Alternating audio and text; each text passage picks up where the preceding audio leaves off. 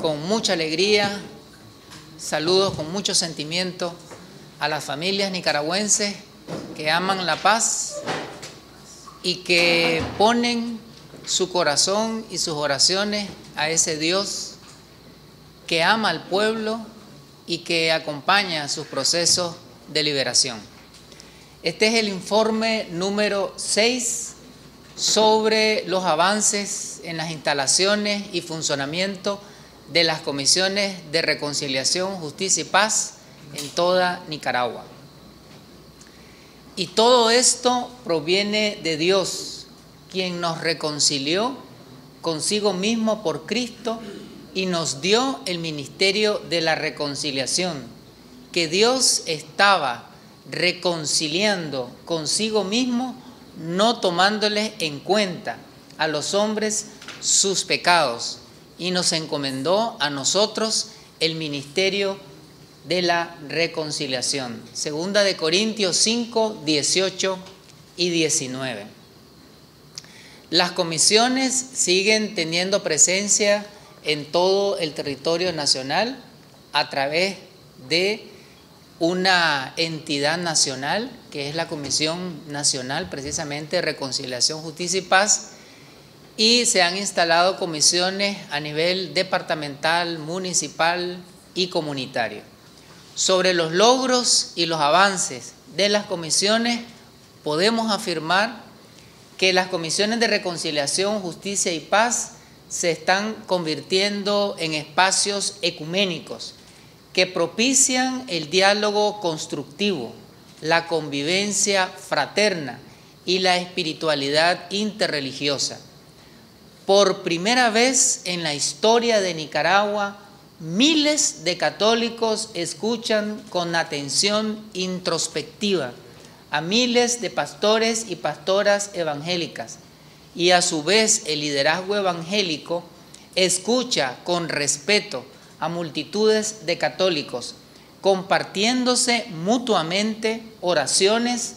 alabanzas al Creador, lecturas de las Sagradas Escrituras y reflexiones cristianas sobre el amor vivificador, la paz sanadora y el ministerio de la reconciliación.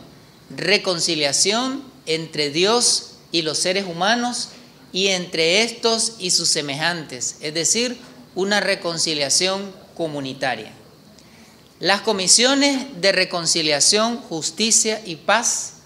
convergen en la reflexión que la paz es la condición necesaria e indispensable para seguir alcanzando mejores niveles de desarrollo humano e índices de crecimiento económico con redistribución justa de las riquezas nacionales, como muy bien lo expresaba el presidente constitucional de Nicaragua, el comandante Daniel Ortega, el 6 de julio, en el acto de conmemoración del 40 aniversario al repliegue, abro comillas, el derecho a trabajar en paz, el derecho a la paz, porque para que pueda haber trabajo, para que pueda haber salud, para que pueda haber educación, para que pueda haber cultura, deportes, para que pueda haber desarrollo en cualquier país de este planeta, en primer lugar, tiene que haber paz, paz. Cierro comillas, afirmaba el comandante Daniel Ortega. Las comisiones de reconciliación, justicia y paz han meditado y concluido que la paz es un don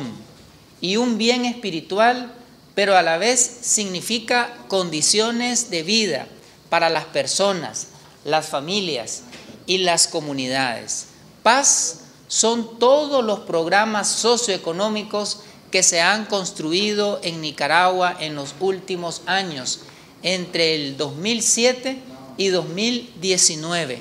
por medio de la gran alianza gobierno-pueblo Programas que se traducen en hospitales, centros de salud, casas maternas, universidades, centros de capacitación técnica para la juventud, colegios, escuelas, preescolares, centros de desarrollo infantil, centros de atención a la niñez, centros de atención a las personas adultas mayores, centros de atención a las personas con enfermedades crónicas, estadios, parques, canchas, centros culturales, deportivos, recreativos, calles, caminos, carreteras, puentes, pasos a desnivel, ampliación de los servicios de agua potable, luz eléctrica, aguas servidas, alcantarillados, mejoría de la seguridad alimentaria y nutricional, seguridad ciudadana y seguridad humana y también seguridad social. Esto es paz. Y esa paz debe de ser fortalecida, cuidada y resguardada con la voluntad y buen corazón de hombres y mujeres que aman la paz. Las comisiones de reconciliación, justicia y paz coinciden en que la paz significa la construcción de una sociedad inclusiva, en donde todas las personas, sin discriminación alguna, puedan disfrutar de la restitución de sus derechos, sin importar su edad, sexo, origen étnico, cultural, creencias políticas, religiosas, oposición social, económica o situación de discapacidad. Los derechos humanos pertenecen a las personas con discapacidad visual, auditiva, con discapacidades físico-motoras, sensoriales, psicosociales o múltiples. Los derechos humanos no son solo de un grupo pequeño de privilegiados económica y socialmente, no son solo de ciertos apellidos o de cierto grupo religioso, sino de todas y todos los nicaragüenses sin distingo alguno. Las comisiones de reconciliación, justicia y paz se convierten paulatinamente en comunidades terapéuticas. Son epicentros de sanación espiritual, emocional, familiar, comunitaria y social. En los diálogos interactivos y empáticos que se desarrollan para superar los horrores vividos en el año 2018,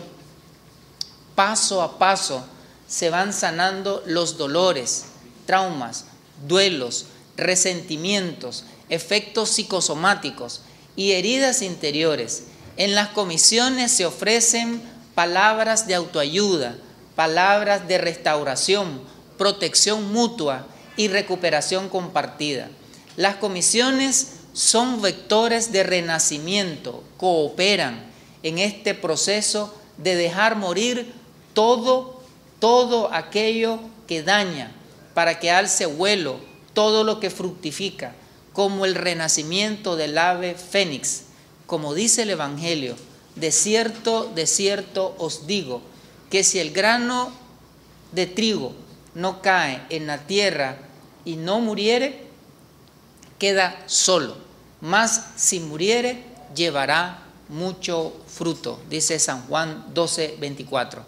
Las comisiones de reconciliación, justicia y paz son día a día más conscientes que la violencia tiene muchas manifestaciones y tipos, como la violencia física, psicológica, intrafamiliar, comunitaria, violencia sexual, de género, trata de personas, explotación sexual, bullying, violencia virtual, digital y política. Las personas que integran las comisiones se comprometen a identificar, detectar y prevenir todas estas formas de violencia para crear una nueva cultura, una cultura de no violencia, pacífica, pacificadora y de armonía familiar y comunitaria. En síntesis, una cultura de amor y de cuido a la vida. Las comisiones de reconciliación, justicia y paz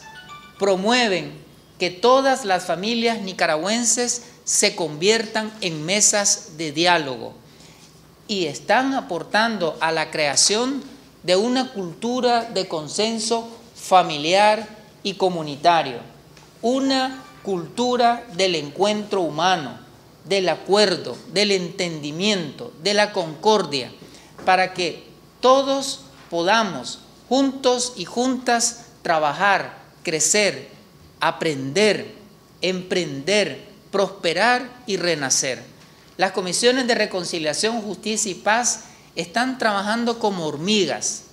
día a día, para lograr que todos los espacios de convivencia humana se conviertan en un futuro no muy lejano en templos de paz. Nos referimos a familias de paz, en donde se erradique todo tipo de desencuentro, escuelas de paz, universidades para la paz, en donde se derogue todo tipo de comunicaciones inapropiadas, centros de trabajo de paz, en donde se respire buen trato, estadios de paz, donde el deporte nos inspire a vivir en respeto a las diferencias, comunidades de paz, en donde las relaciones vecinales son relaciones de armonía, iglesias de paz que pregonen y practiquen el Evangelio de la unidad tal y como lo dice Hechos de los Apóstoles. Y de la multitud de los que habían creído eran de un corazón y una alma, y ninguno decía ser suyo algo de lo que poseía, mas todas las cosas le eran en comunes. Hechos 4:32. Ahora vamos a compartir los avances cuantitativos, los avances estadísticos de cómo las comisiones se han venido instalando. Estos datos son los sistematizados al 4 de julio, o sea, la fecha el número de comisiones es mayor, pero esto es lo que hemos logrado organizar estadísticamente. Tenemos registrado un total de 4.802 comisiones en todo el país, con expresiones 170 eh, a nivel de municipios y distritos, y si hacemos una descripción por departamentos, tenemos en Nueva Segovia 389, Madrid 121, Estelí 181, en el departamento de Chinandega 481, en León 437, en Managua 739. Es el departamento con mayor número de comisiones, corresponde ¿no? a, la a la dimensión geográfica y demográfica que tiene la capital. Masaya 319, Carazo 85, Granada 166, Rivas 140, Chontales 207, Boaco 165, Río San Juan 351, luego en el norte del país, Jinotega 165, Matagalpa 309, en Celaya Central 239 y en la costa caribe nicaragüense, en la región autónoma del Caribe Sur, 69, en la región autónoma del Caribe Norte 46 y en el sector minero 202 comisiones. Y seguimos avanzando